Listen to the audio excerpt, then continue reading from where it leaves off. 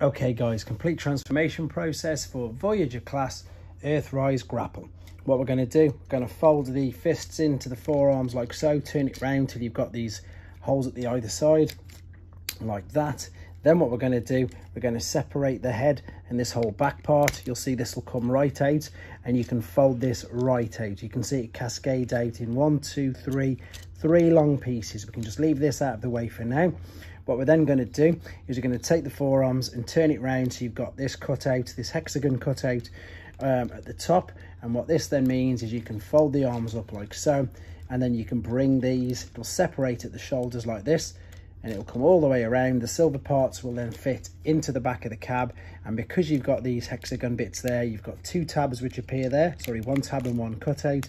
These will fit together and just rest in like so. We're now going to, of course, fold over the head, turn that out the way. Now there's something on here I'm deliberately not going to fully do and I'll show and explain to you why. If you see the if you saw the review, one of these snapped off already into the back of there. So I'm going to show you how to pretty much avoid it as well. Take the feet, fold it out and then press down. Take this foot, fold it out and press down.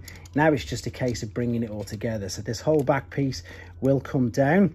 And what you would do, I'm not going to do it for this video like I've just said, is you would clip this let's flatten everything out into there like so. And you can see that's exactly where I did it before and that's where it snapped off. So once you've got that in there clip this over.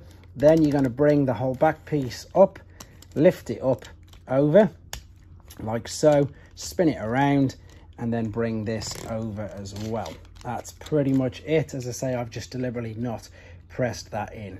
So if you've got it in this mode and you want to go back to robot then very simply you would separate there. Then you're going to bring the legs down. What we'll do is we'll take this opportunity then to fold the feet out and back under fold it out slot it back same on this side out and then back. Then we'll separate the arms like so.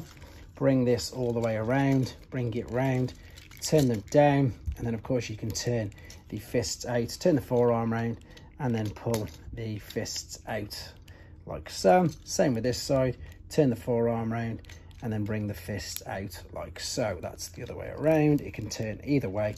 Right, then we come to the back, which at the moment, as you can see, is all folded out. So all we need to do is cascade it all back in, fold that up, and then you've got this big tab here, which is going to locate in there. Before you do that, don't forget to turn this around and then back down, and also fold the head over and out as well. So you're going to bring this up, this will now clip into place and this will also fit. There's two tabs either side of the head there and there. Then it's just a case of bringing this down like so and into position. There we go. Be extra careful though guys when clipping the tabs in the back in case it breaks like mine did. Thanks for watching. Like and comment and don't forget to subscribe.